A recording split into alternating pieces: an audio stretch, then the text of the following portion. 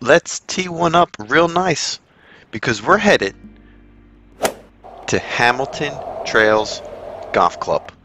And this is a nine hole golf course located in Mays Landing, New Jersey.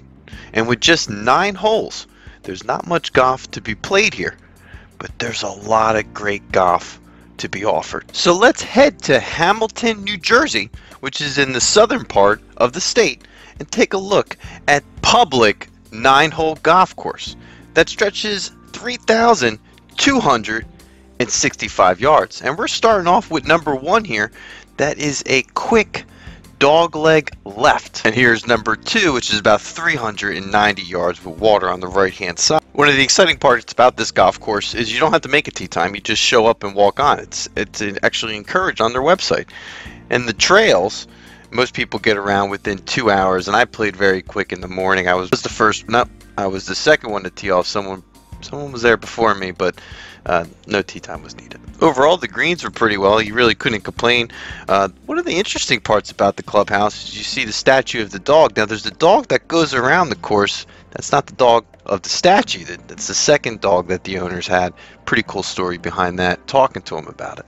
Course plays about twenty dollars uh, to walk it, and then I think it's about twenty-five dollars to ride it. So, very reasonable golf course for South Jersey. A lot of times when you go to these nine-hole courses, it doesn't really feel like a golf course, and this one actually really does feel like a fun golf course to play.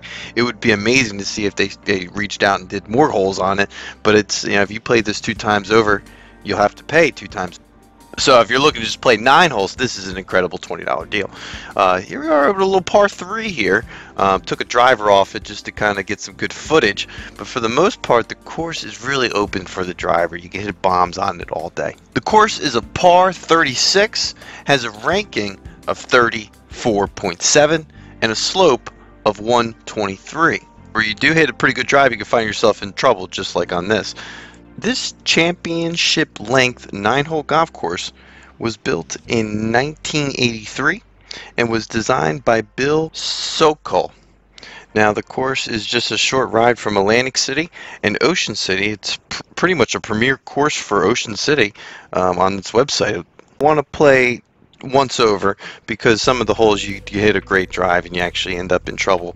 Um, but uh, one of the my favorite parts about this golf course is probably the tee boxes. I decided on this course to pretty much move the tee boxes myself all the way to the back on all the holes just to make it a little bit more challenging to get that 3,000 yard mark from those back tees. Obviously, the fairways were pretty open. You could kind of spray the ball for the most part.